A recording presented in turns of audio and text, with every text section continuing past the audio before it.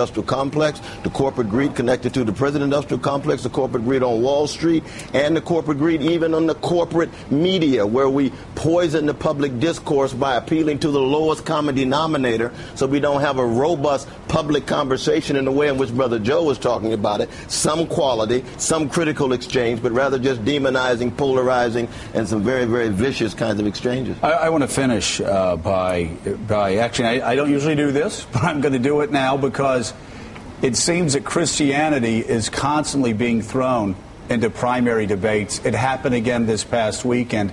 And how fascinating that despite the fact that many on the right have have brought religion up over the past 30, 40 years, they somehow miss the core of Jesus' message. Jesus was asked, and I want you guys to comment on this, mm. by his disciples, who's getting to heaven?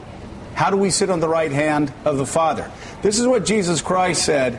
And by the way, Pastor Jeffress, this is, if you open your Bible to Matthew, it's in red letters. That means Jesus said it. And this is what Jesus said Then the king will say to those on his right, Come, you who are blessed by my Father, take your inheritance. For I was hungry, and you gave me something to eat. I was thirsty, and you gave me something to drink.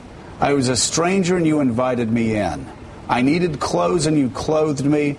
I was sick and you looked after me. I was in prison and you came to visit me. And that was not Jesus talking about some side issue, some sidebar to his ministry. That was Jesus talking about when asked what his ministry was about. It was about taking care of the poor. That's right. And yet we don't see right. that from the very people who wave their Bibles right. around the most, guys. It, it, even, yeah. No, go right ahead. Go No, it, it, I mean, we can, can, we can go farther than that. There's so many references in the biblical text that talk about taking care of, looking out for the poor. You can go to the Beatitudes. Blessed are the poor. Uh, what you do unto the least of these, you do unto me. We could we could get into the hermeneutics all day long of how to treat the poor uh, relative to the biblical text, and that's exactly what we have to uh, have to say to all believers in this country.